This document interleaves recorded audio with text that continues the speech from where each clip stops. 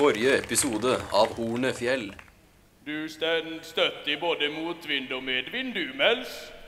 Ja, jeg har vært ute i hardt vær før.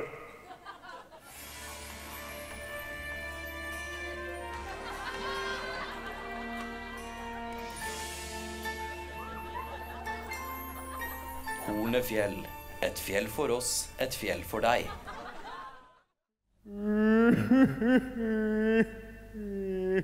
Står du her og gret? Du burde nyte friheita. Det er lett for deg å si, du som ikke har blitt sår eller tråkka på. Hva? Har ikke jeg blitt tråkka på? Hvem er det som må leve med en flokk sauer halve året? Men det må jeg òg. Seriøst, hver vinter er det slik. Du og depresjonen din. Ærlig talt.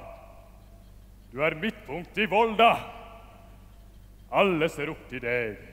Du er spanende og krevjende. Og folk ser på det som en prestasjon av å få være på deg.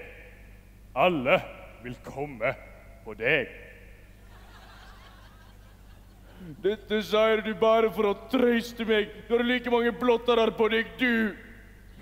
Hva gjør du? Jeg orker ikke mer. Alle kaller meg bare for Hufsa og forlet meg om vinteren. Jeg, jeg ber om årsaking for det som hendte i går. Bildet jeg viste, er ikke fra meg. Det er ifra Hvor er du fra? Galdhøgpiggen. Du laug til meg! Du forstår ikke. Jeg har alltid vært på denne sida av dalen. Siden vi var små, har jeg sett alle som har jubla over å nå toppen din. Ingen bryr seg om meg.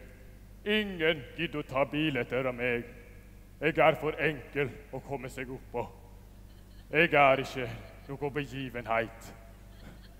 Alle kan komme på meg. Det er ikke noe jeg kan gjøre med det. De lyt bare utnytte meg.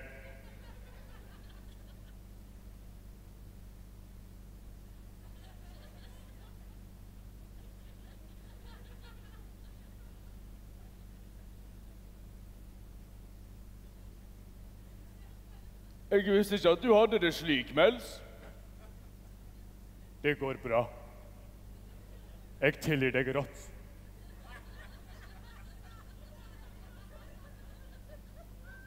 Og vennskapet vårt står støtt som eit fjell.